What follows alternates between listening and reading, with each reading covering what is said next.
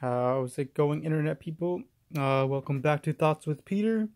I be Peter. So, like I said, I've been wearing the Just So So shoes, sneakers, whatever you want to call them, for about a week.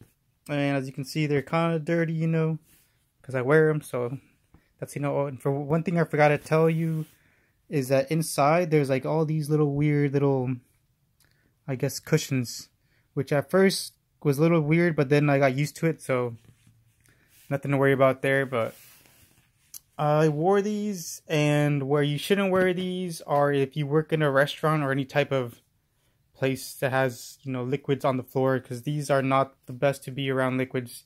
They do have some tread or something like here, you know, to help with the traction, but definitely not in the restaurant slash wet area.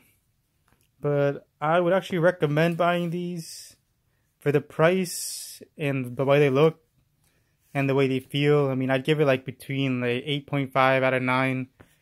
Not a 10, obviously, because of how it's not the best with moisture and, or walking, you know, on water or anything like that. But for looks, price, comfort, they're definitely something to buy. I mean, try them out. Like I said, I'm a size 11. I literally got to like maybe right here, my toe, so like about half an inch away from. Uh, so yeah, try it out. Get the size you need, and if not, I'm gonna actually order a 10 and a half and see if those fit a little bit more snuggy or comfortably. But if they're too tight, I'm gonna return them. And make sure if you buy these, you order them through Amazon because if you order them from other, like an Instagram or Facebook ad, they're probably gonna come out fake, and you'll know they're you know they're gonna be fake because in between here, you'll see there's no holes. It's just filled with I don't know styrofoam or foam. So buy them through Amazon because then you can at least return them if you don't like them.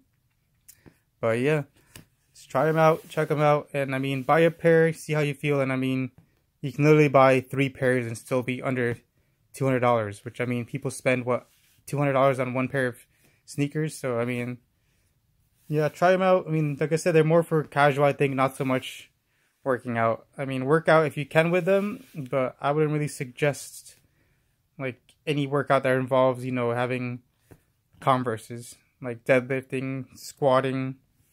But yeah, you can try to run with these. Let me know. I haven't ran with them. So if you do run, I would stick with the treadmill. Maybe not so much the grass.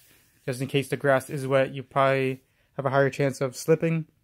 So yeah. Let me know what you guys think. Uh, later, later.